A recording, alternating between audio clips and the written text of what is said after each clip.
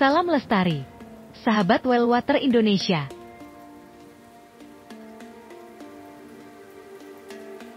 Kabar mengejutkan datang dari kota Kediri di Jawa Timur. Para relawan Well Water Indonesia Region Kediri ternyata telah lama memelihara jenis ikan belida yang tergolong sangat langka dan bahkan dianggap telah punah, yaitu jenis belida Citala lopis asli Pulau Jawa.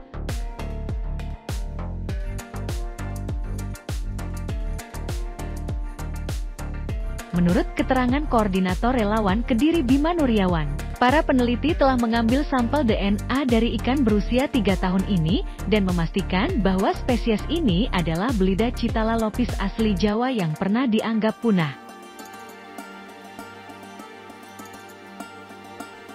Anggapan ini mengingat minimnya informasi terkait keberadaan spesies ini di perairan liar Pulau Jawa dari masyarakat, sehingga para peneliti beranggapan bahwa mungkin saja spesies Citala lopis asli Jawa ini telah punah.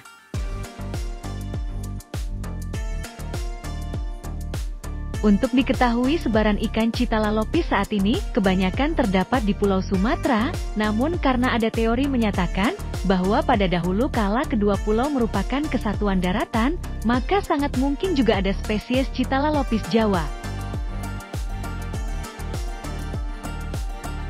Tantangan selanjutnya adalah bagaimana mengembang biakan spesies sangat langka ini, agar dapat disebarkan ke perairan umum.